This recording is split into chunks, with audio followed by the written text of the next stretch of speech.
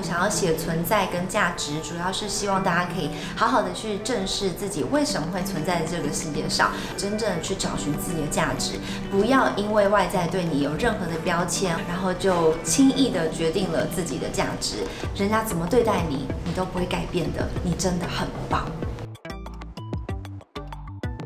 当然，就是有一群很好、很诚实的朋友，然后让他们有机会可以对你发表他们看到的你是什么样子。那另外呢，就是要诚实的面对自己，然后花大量的时间跟自己对话，有感受的、哀伤的，甚至是感觉委屈的，全部都把它记录下来，这样你在回顾的时候会更容易理清自己的感受哦。